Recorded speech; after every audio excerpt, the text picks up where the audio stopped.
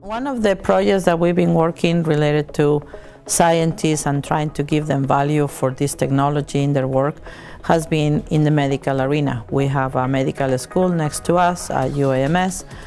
and one of the groups over there approached us to say, this looks cool, I don't know what to do with it. So one of the, the problems that we discovered just by having conversation with them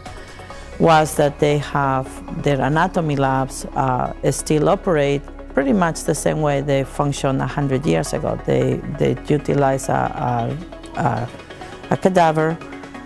with all the implications that that brings from uh, hygiene, uh, you know, medical safety, from also the, the more human aspect is, is, a, is, a, is an individual that has families, that those remains needs to be handled in a certain way.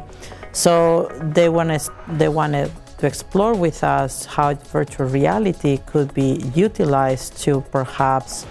evolve the anatomy classrooms, the anatomy labs, toward more of a digital anatomy lab. So to that end, we prototype a immersive table where we made a life size, so pretty much the size of a examination uh, table or chair and we have a virtual cadaver. And in that table, you can do dissection similarly like you would do in a, in a live cadaver with some of the additional enhancements that you can do digitally. For example, when you uh, pick an organ or a muscle or a bone, we can actually give you the name of that organ so you immediately have that information. The next step for that table is right now we have a perfectly pristine unique, uh, unblemished uh, human body in there. And one of the things that we are working on now is to take this to be a more life